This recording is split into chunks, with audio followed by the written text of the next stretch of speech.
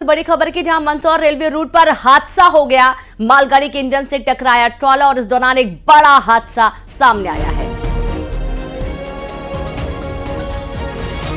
तो इंजन के आगे लगा लोहे का हिस्सा क्षतिग्रस्त हो गया। माननखेड़ा रेलवे पुल के पास की घटना बताई गई है। दोहरीकरण के काम के दौरान यह हादसा हुआ है। ट्रॉले का पिछला हिस्सा ट्रेन के इंजन से टकराया। मरम्मत के बाद मालगाड़ी को रवाना किया गया है। कुछ ट्रेनें लेट भी हुई है। तो एक तरफ़ जहाँ रतलाम मंदसौर रेलवे रूट पर हादसा देखने को मिला और यहाँ पर मालगाड़ी के इंजन से ट्रॉला टकराया। इंजन के आगे लोहे का हिस्सा क्षतिग्रस्त हो गया है। सुधीर संवाददाता साथ जुड़ गए हैं। सुधीर, क्या जानकारी मिल रही है? क्या आप सब कुछ ठीक है वहाँ? देखिए, अब अब तो ऑल इज़ वेल है। रूट जो है क्लियर कर दिया गया था रात में ही। जो कुछ ट्रेनें लेट हुई थी, उनको जो है वो टाइम पे चलने लगी है। दरअसल रतलाम, मंदसौर, नीमच जो है रेलवे के जो डबलीकरण का काम यहाँ पे चल रहा है। इसी दौरान एक जेसीबी को यहाँ पे उतारा जा रहा था, जो ट्रॉली की मदद से रेलवे ट्रैक के बगल में जो है जेसीबी को उतारा गया था। और जैसे ही ट्राला पलटा, उसी दौरान जो है मंदसौर की ओर से एक मालगाड़ी आती है और ट्राले का पिछला हिस्सा जो है मालगाड़ी के इंजन से टकरा जाता है। तो इसी वजह से जो इंजन का अगला हिस्सा है, जिसमें लोहे का एंगल लगा होता है, वो डैमेज हो गया और तत्काल जो है मालगाड़ी को रोक कर गाड़ी को धीरे धीरे जो है टोडर स्टेशन जो पास में ही है, वहाँ पे लाया जाता है, जिसके बाद रतलाम का इंजीनियरिंग जो विभाग है, उसके आला अधिकारी पहुँच के उस एंगल को ठीक करते हैं और मालगाड़ी को रवाना किया जाता है। चूँकि बहुत कम हिस्सा जो टकराया था, इसलिए बड़ा हादसा टला है। अगर ट्रॉले का ज़्यादा हिस्सा टकरा था तो गनीमत तो बड़ा कुछ हादसा हो सकता था। तो गनीमत रही कि एक बड़ा हादसा टला है और उसकी वजह से जो रतलाम नीमच जो रेलवे रूट है उसकी कई ट्रेनें लेट हुई हैं और जो अब जो है वो ट्रेनें ऑन द सही समय पर चल रही है और, जो इस पूरे जो सेक्शन है उसको यहाँ पे क्लियर किया गया और रेलवे ने इस पूरे मामले में जाँच के आदेश भी जारी किए हैं। जी। बहुत शुक्रिया सुधीर जानकारी साझा करने के लिए।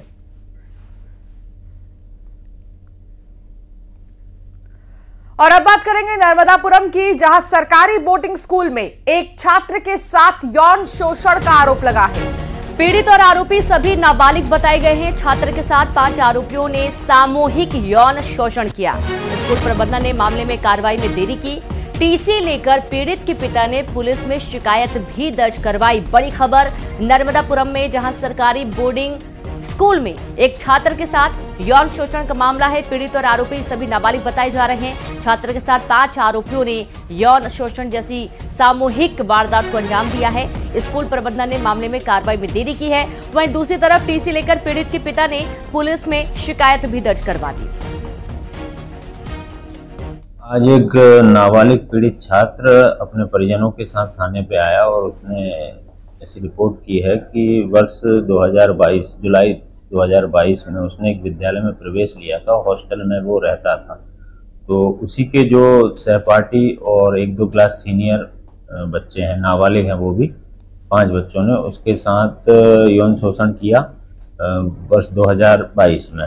और उसके बाद उसी वर्ष में एक बार और उन्होंने यौन शोषण किया और अंतिम बार दिसंबर 2023 में उसके साथ यौन शोषण किया इसमें पीड़ित और आरोपी दोनों ही नाबालिग छात्र और संवाददाता शैलेंद्र कौरव जुड़ गए हैं। शैलेंद्र 2022 और 23 में इस घटना को अंजाम दिया गया। अब मामले का खुलासा हो रहा है।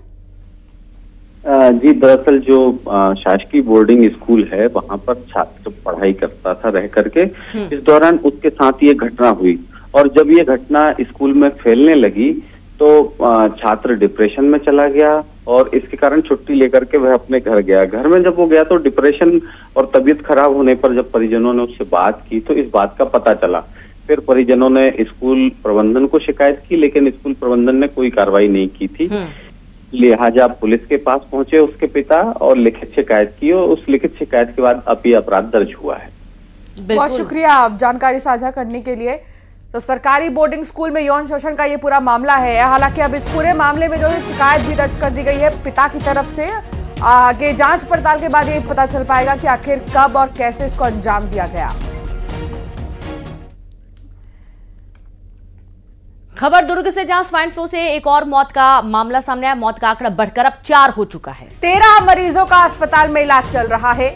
एक महीने में स्वाइन फ्लू के तेईस मरीज़ मिले। अलर्ट पर स्वास्थ्य विभाग नज़र आ रहा है। लगातार स्वाइन फ्लू के मामले सामने आ रहे हैं और अब भी एक और मौत स्वाइन फ्लू की वजह से मौत का आंकड़ा बढ़कर चार हो गया है। इससे पहले तीन मरीजों की मौत हो गई थी जो स्वाइन फ्लू से पीड़ित थे।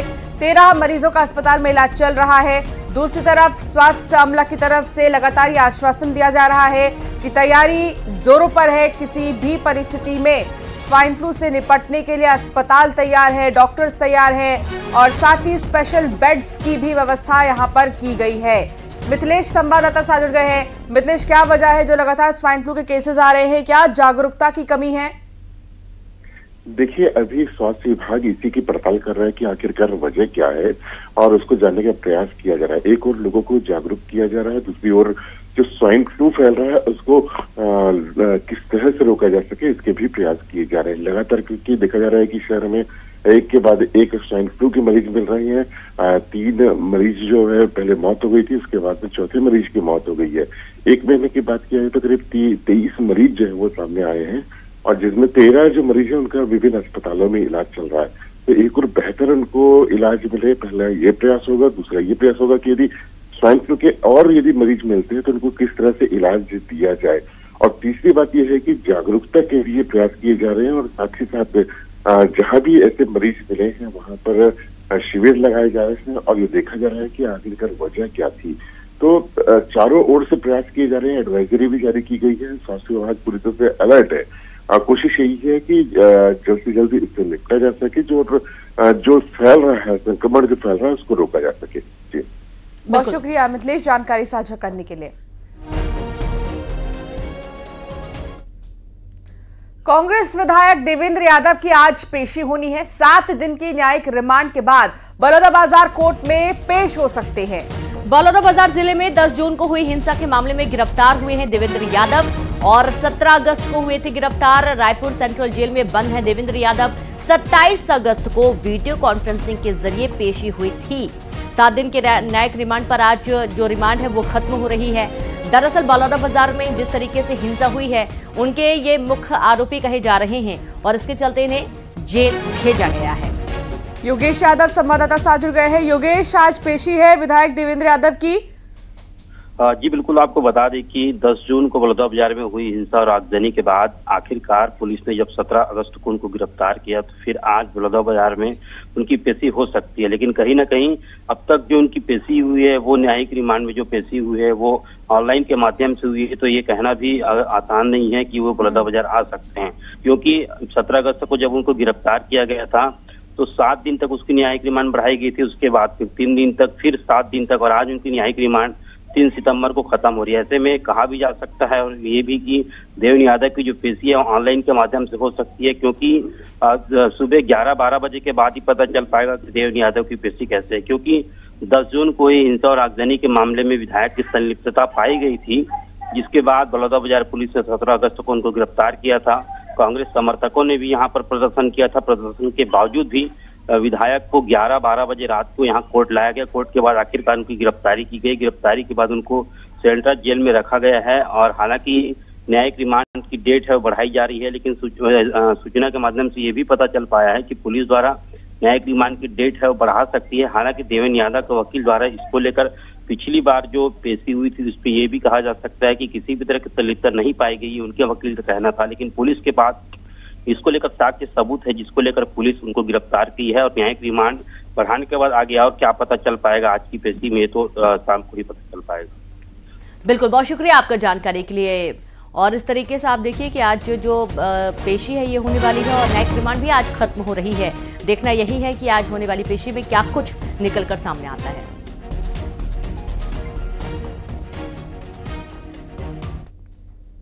मध्य प्रदेश में आज से बीजेपी का सदस्यता अभियान शुरू होगा। सीएम डॉक्टर मोहन यादव ग्रहण करेंगे सदस्यता। प्रदेश के अध्यक्ष वी शर्मा सदस्यता दिलाएँगे। कई और मंत्री भी इसमें हिस्सा लेंगे, सदस्यता लेंगे। तो क्योंकि एक बड़े स्तर पर इस अभियान को लेकर जाना है और मध्य प्रदेश में मुख्यमंत्री डॉक्टर मोहन यादव शुरुआत करेंगे सदस्यता लेने की, ग्रहण करने की। और ठीक इसी तरह, इसी सिलसिले में कई और मंत्रियों को भी आप देखेंगे, जब वो सदस्यता लेंगे। कई लाखों लोगों को बीजेपी जोड़ रही है अपने साथ, और ऐसे में सदस्यता अभियान की ज़िम्मेदारी प्रदेश के अध्यक्ष वी डी शर्मा को दी गई है, और साथ ही प्रदेश के प्रभारी की भी ज़िम्मेदारी है। सदस्यता ग्रहण कराने की, लोगों को ज़्यादा से ज़्यादा कुनबा बढ़ाने की, पार्टी की, और हर लेवल पर, बूथ स्तर पर जो है कार्य किया जा रहा है।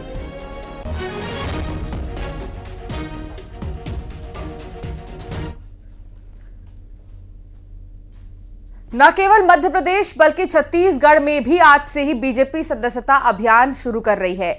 मुख्यमंत्री विष्णुदेव साय बीजेपी की सदस्यता ग्रहण करेंगे।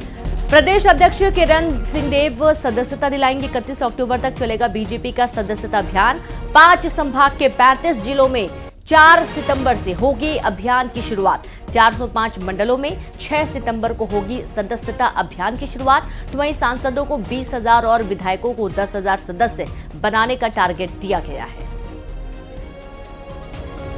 तो मध्य प्रदेश और छत्तीसगढ़ में बीजेपी सदस्यता अभियान को ज़ोर देने के लिए कार्यक्रम भी आयोजित किया गया और इसमें अलग अलग ज़िम्मेदारी दे दी गई है जहाँ सांसदों को बीस हज़ार और विधायकों को दस हज़ार सदस्य बनाने का टारगेट दिया गया है। छत्तीसगढ़ में भी बीजेपी सदस्यता अभियान शुरू होने जा रहा है और सीएम साय खुद बीजेपी की सदस्यता ग्रहण करने वाले हैं, जहाँ प्रदेश अध्यक्ष किरण सिंह देव उन्हें सदस्यता दिलाएँगे। वहीं अक्टूबर 31 अक्टूबर तक ये पूरा अभियान चलने वाला है। पाँच संभाग के पैंतीस जिलों में चार सितंबर से अभियान की शुरुआत होगी।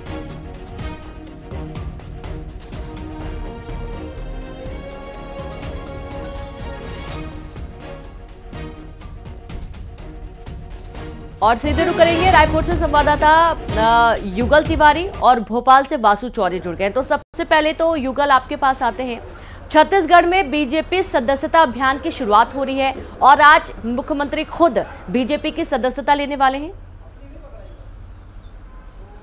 जी बिल्कुल देखिए छः साल बाद बीजेपी की सत, जो सदस्यता है वो शिथिल हो जाती है फिर से नए सदस्य बनाए जाते हैं हम्म। अलग अलग जो इनकी जो बीजेपी की जो धड़े हैं इकाइयाँ हैं जो प्रकोष्ठ हैं उनको जवाबदारी सौंपी गई है हम्म। चाहे वो युवा प्रकोष्ठ हो या फिर अन्य प्रकोष्ठ आज सभी को जवाबदारी सौंपी गई है आज राजधानी रायपुर के इंडोर स्टेडियम में एक बड़ा अभियान चलेगा सदस्यता अभियान को लेकर यहाँ पर विष्णुदेव साय है, उसे पहले सदस्य के रूप में छत्तीसगढ़ के, अब जो किरण सिंहदेव भंज हैं वो किरण सिंहदेव हैं, वो सदस्यता अभियान के तहत उन्हें सदस्य है वो बनाएँगे। इसी तरह पूरे प्रदेश भर में जो कार्यक्रम है, सदस्यता अभियान का, बीजेपी का, वो चलेगा। सांसद, विधायक के साथ साथ जितने भी पदाधिकारी है, अहम पदों पर बीजेपी के लोग जो हैं उन्हें उनका टारगेट है वो सौंप दिया गया है।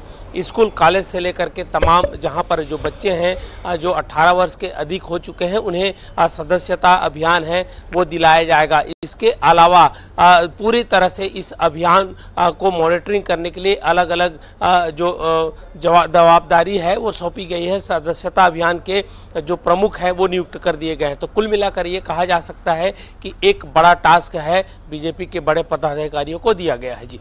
बिल्कुल, और वासु सदस्यता अभियान इसलिए भी बहुत खास होगा क्योंकि इससे जो स्पष्टता है वो दिखाई देती है कि कितने लोग आपकी पार्टी के साथ हैं या पार्टी के प्रेमी कितने हैं जो सदस्यता लेंगे।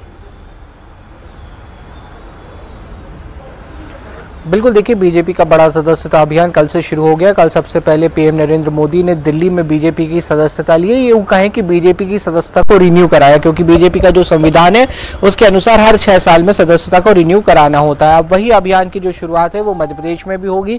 दोपहर दो बजे सबसे पहले मुख्यमंत्री डॉक्टर मोहन यादव सदस्य लेंगे और उसके साथ उनके साथ ही पूरे जो कैबिनेट के मेंबर्स हैं, वो सदस्य लेंगे। और फिर मध्य प्रदेश के जो पैंसठ बूथ हैं, सभी बूथों पर सदस्यता अभियान जो है, वो शुरू हो जाएगा। हर बूथ पर बीजेपी बीजेपी ने 200 लोगों को जोड़ने का लक्ष्य रखा है और पूरे मध्य प्रदेश की अगर बात करें तो बीजेपी ने डेढ़ करोड़ लोगों को जोड़ने का टारगेट सेट कर रखा है। यानी कि देश भर में जो 10 करोड़ सदस्य बनाए जाने, उसमें से डेढ़ करोड़ सदस्य जो है वो मध्य प्रदेश से बनाए जाएँगे और आने वाले कई हफ्तों तक ये जो पूरा अभियान है वो इसी तरह से अनवरत जारी रहने वाला है। बीजेपी लगातार अपने कैडर पर काम करने वाली पार्टी अपने कैडर को मज़बूत करने वाली पार्टी है और यही वजह है कि मध्य प्रदेश में बीजेपी को एक के बाद एक कई सफलताएँ मिली हैं, चाहे वो विधानसभा का चुनाव हो, लोकसभा का चुनाव हो और फिर उपचुनाव की बात करें तो एक, एक बड़ा अभियान जो है वो बीजेपी ने आज से शुरू किया है और इसके लिए कई तरीके के ऐप्स जो हैं वो बीजेपी डिजिटल माध्यम से भी सदस्यता कराने जा रही है। नमो ऐप के माध्यम से सदस्यता होगी। बीजेपी जो वेबसाइट है उसके माध्यम से सदस्यता की जा सकेगी। इसके साथ ही हाथ से लिखी हुई पर्चियों के माध्यम से भी जो सदस्यता है वो होगी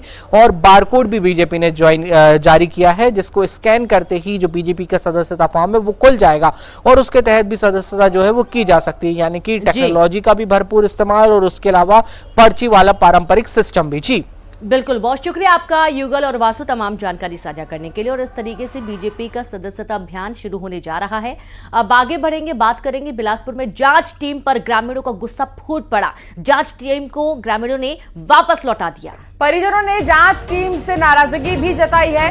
ग्रामीणों के विरोध के बाद वापस लौटी है टीम। देखिए, तस्वीर आपको दिखा रहे हैं, जहाँ विरोध ज़ाहिर किया गया है। बच्चों की मौत के मामले की जाँच करने के लिए टीम पहुँची थी। दरअसल टीका लगने से दो बच्चों की मौत हो गई थी और इनमें से कई बच्चों की हालत बहुत ज़्यादा नाजुक भी थी, जिन्हें हॉस्पिटल एडमिट किया गया। और इसी मौत के बाद से हड़कंप जैसी स्थिति थी। ग्रामीण लगातार विरोध जता रहे थे। तो वहीं दूसरी तरफ़ बिलासपुर में जब जाँच टीम पहुँची ग्रामीणों से बातचीत करने के लिए, उनका गुस्सा शांत करने के लिए तो ग्रामीण और ज़्यादा उग्र हो गए। जाँच टीम को ग्रामीणों ने वापस लौटा दिया और उल्टे पैर जाँच टीम को वापस आना पड़ा। ग्रामीणों के भारी विरोध का सामना करना पड़ा।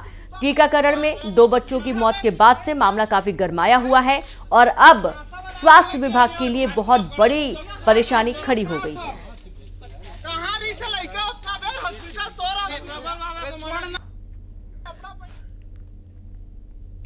बॉलीवुड एक्ट्रेस और बीजेपी सांसद कंगना रनौत को फ़िल्म इमरजेंसी के लिए जबलपुर हाईकोर्ट ने नोटिस जारी कर दिया।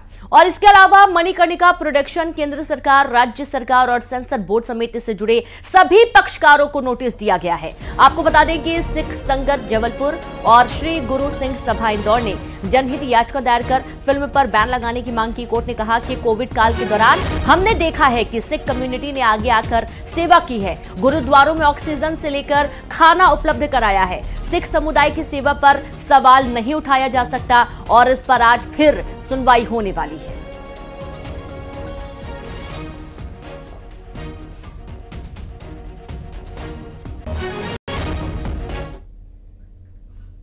तो वही खरगोन में भारी बारिश में निर्माणाधीन मंदिर गिर गया। सिंगाजी महाराज का निर्माणाधीन मंदिर गिर गया। बता दें कि मलबे में दबकर एक की मौत हो गई है, पाँच मजदूर घायल हो गए हैं। विस्तान थाने के मोगर गाँव की घटना है और यहाँ पर भारी बारिश में निर्माणाधीन मंदिर गिर गया है। सिंगाजी महाराज का निर्माणाधीन ये मंदिर था, जिसका निर्माण किया जा रहा था, लेकिन उससे पहले ही तेज बारिश होने की वजह से ये मंदिर गिर गया और मलबे में दबने की वजह से एक की मौत हो गई है। पाँच मजदूर घायल बताए जा रहे हैं। मलबे से मजदूर को बाहर निकालने की भी तस्वीर आप तक पहुँचा रहे हैं। पुलिस प्रशासन की टीम, ग्रामीण इलाके यहाँ पर जितने भी लोग थे मौजूद, वो पहुँच गए। और इस देखिए, निर्माणाधीन मंदिर के नीचे से कैसे उस मजदूर को निकाला जा रहा है। एक की मौत हो गई है, पाँच मजदूर घायल हुए हैं। निर्माणाधीन और ऐसे में तेज बारिश होने की वजह से, कच्चा होने की वजह से यह मंदिर गिर गया।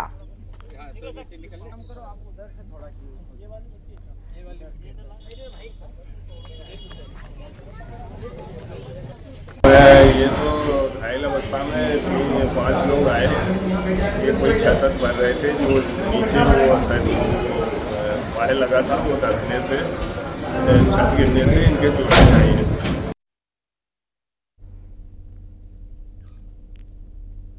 सुकमा में पाँच नक्सलियों ने सरेंडर कर दिया है और एक महिला समेत पाँच नक्सलियों ने सरेंडर किया है। दो नक्सलियों पर एक एक लाख का इनाम भी घोषित था। पुलिस के सामने इन सभी नक्सलियों ने आत्मसमर्पण किया है। जिनमें पाँच नक्सली बताए जा रहे एक महिला भी शामिल है। और इनामी ये नक्सली थे जिन्होंने कई वारदातों को अंजाम दिया था। चार पुरुष और एक महिला नक्सली ने आत्मसमर्पण किया है। सरकार के मुख्य धारा से जुड़ने का फैसला लिया है। और अब एक और बड़ी सफलता इसे कहेंगे, क्योंकि लगातार नक्सलियों के सरेंडर की खबरें सामने आ रही हैं।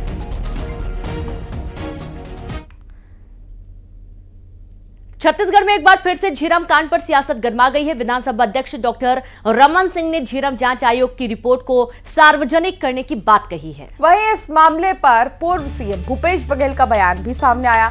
भूपेश बघेल ने कहा है कि झीरम कांड का सच सामने आना चाहिए, लेकिन उसे सामने आने नहीं दिया जा रहा है। एक बार फिर से झीरम कांड पर सियासत तेज है और ऐसे में विधानसभा के जो अध्यक्ष हैं, डॉक्टर रमन सिंह, जो कि पूर्व मुख्यमंत्री भी छत्तीसगढ़ के रह चुके हैं।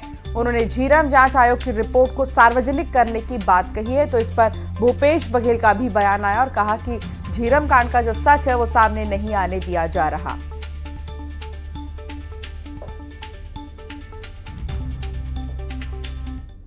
विधानसभा में जिस दिन आएगा और विधानसभा की प्रक्रिया होगी, उस दिन वो लोगों के लिए उपलब्ध हो जाएगा। विधानसभा में जिस दिन आएगा और विधानसभा की प्रक्रिया होगी उस दिन वो लोगों के लिए उपलब्ध हो जाएगा। मतलब वो जो रिपोर्ट है उसमें आ, कोई सच्चाई होगी या सच्चाई को तोड़ मोड़ के पेश किया गया होगा ऐसा मैं मानता हूँ। और जब उसके बाद जब मैंने दो सदस्यीय आयोग का गठन कर दिया तब कैसे रिपोर्ट को प्रस्तुत करेंगे? आज तक राज्य सरकार को प्रस्तुत किया नहीं आयोग ने। वो प्रस्तुत कैसे और अब खबर जशपुर से है, जहाँ जन आक्रोश महारैली को लेकर उरांव समाज में दो फोड़ हो गया है। दरअसल दीपू बगीचा स्थित पूजा स्थित स्थल में कथित तालाबंदी की झूठी खबर प्रचारित कर जन आक्रोश महारैली का आयोजन कर रही है। समाज का एक वर्ग पूजा स्थल में प्रशासन द्वारा सील लगाने की बात कहकर विशाल रैली का आयोजन कर रहा है, जिसमें हज़ारों की संख्या में लोग शामिल होने की बात कही जा रही है। उस रैली को लेकर समाज के दूसरे पक्ष ने, समाज के लोगों से रैली में शामिल नहीं होने की अपील की है। विधायक रायमुनि भगत ने समाज के लोगों से इस रैली में शामिल नहीं होने की अपील की। विधायक का कहना है कि सरना पूजा स्थल को सील नहीं किया गया है।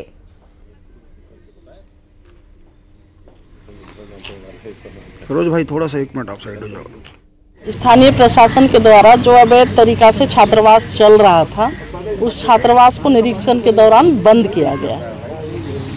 और राज़ी पढ़ा भारत के द्वारा जन आक्रोश रैली के माध्यम से लोगों को भड़काया जा रहा है। उनके द्वारा ये कहा जा रहा है कि हमारा पूजा स्थल दीपू बगीचा को स्थानीय प्रशासन के द्वारा सील किया गया। है राज़ी पढ़ाई के द्वारा जो भ्रम फैलाया जा रहा है आ, कि यहाँ पर आ, गेट में मुख्य गेट में जो पूजा स्थल है शरण स्थल है डिपो बगीचा में वहाँ प्रशासन के द्वारा सील लगा दिया गया है जबकि ऐसा कुछ भी नहीं है। कल का जो माननीय विधायक महोदय का जो स्टेटमेंट आने के बाद उसका खंडन के लिए जो है हम लोग यहाँ पर उपस्थित हुए हैं।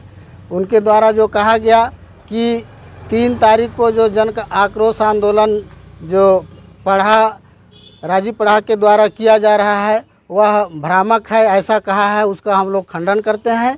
आप देख सकते हैं, यहाँ जो ताला लगा है, ये 10 अगस्त के कार्यवाही हुआ है, उसके बाद से ये ताला लगा है। उसके संबंध में मैं अवगत कराना चाहता हूँ कि जो सूचना प्राप्त हो रही है, उसमें ये जानकारी आ रही है सामने की दीपू बगीचा स्थल को प्रशासन के द्वारा सील कर दिया गया है। परंतु मैं इस चीज़ में स्पष्ट करना चाहता हूँ कि दीपू विजयपुर और बुधनी उपचुनाव की तारीखों का ऐलान भले ही ना हुआ हो, लेकिन इतना तय हो जा रहा है कि यहाँ सियाजी जंग रोचक होने वाली है।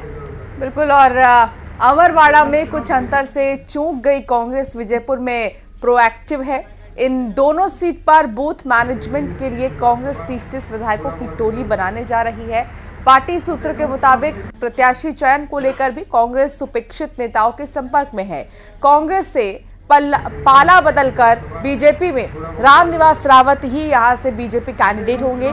ये तय है, देखते हुए कांग्रेस बीजेपी के ही किसी ऐसे नेता को मैदान में उतार सकती है।